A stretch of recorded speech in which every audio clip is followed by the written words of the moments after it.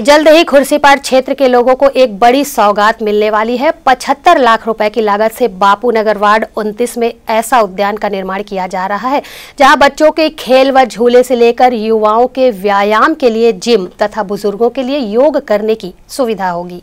विधायक व महापौर देवेंद्र यादव की पहल पर खुर्सीपार क्षेत्र जोन चार के वार्ड क्रमांक 29 बापू नगर में ऐसा एक सुसज्जित सुविधा युक्त उद्यान का निर्माण किया जा रहा है, जो खुर्सीपार क्षेत्र के लिए भिलाई निगम का पहला उद्यान होगा।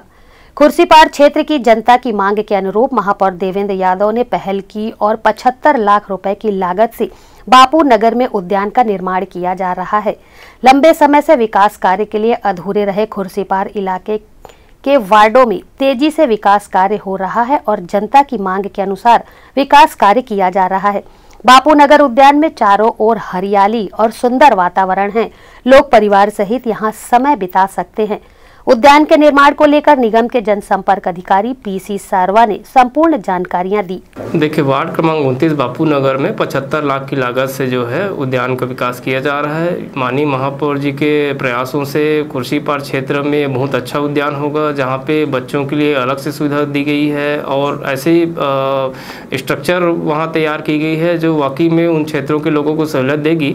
और पहले जो है कुर्सी पार क्षेत्र में बहुत अच्छे गार्डन नहीं थे और इसके गार्डन बन जाने से उस क्षेत्र के जो निवासी हैं, उनको दूसरे क्षेत्रों में जाके मनोरंजन के लिए जाना नहीं पड़ेगा। वहाँ पे वो रेस्ट कर सकते हैं और वहाँ पे जो बुज़ुर्ग हैं, वो अपना टहलने का जैसा काम होता है, वो कर सकते हैं। इसके अलावा बच्चों के लिए जिम व्यायाम, योग और तमाम ऐसी चीज़ें हैं प्लेइंग इक्विपमेंट्स लगे हैं वहाँ पर जो उनको मनोरम दृश्य देगा और उनको जो है शांति प्रदाय करेगा। बाकी वो जो गार्डन है, उसके बगल में तालाब भी है तो वो ऐसा प्राकृतिक दृश्य बनाने का कोशिश किया गया है कि जो है मनोरम लगे और लोगों को लुभावन लगे, उसके साथ ही लोगों को बहुत ज़्यादा शांति उस उद्यान में प्रदाय हो। और कुर्सी पार्क क्षेत्र में चूँकि बहुत ज़्यादा गार्डन नहीं थे और ये गार्डन होने से क्षेत्रवासियों को बहुत ज़्यादा सुविधा मिलेगा, इसका अनुमान है। उद्यान निर्माण कार्य लगभग पूर्ण हो चुका है। इस गार्डन के निर्माण से बापू नगर सहित पूरे जोन चार क्षेत्र के लोगों में काफ़ी हर्ष का माहौल है, जिसका जल्द ही शेष कार्य पूरा होने पर लोकार्पण कर जनता को सौंप दिया जाएगा।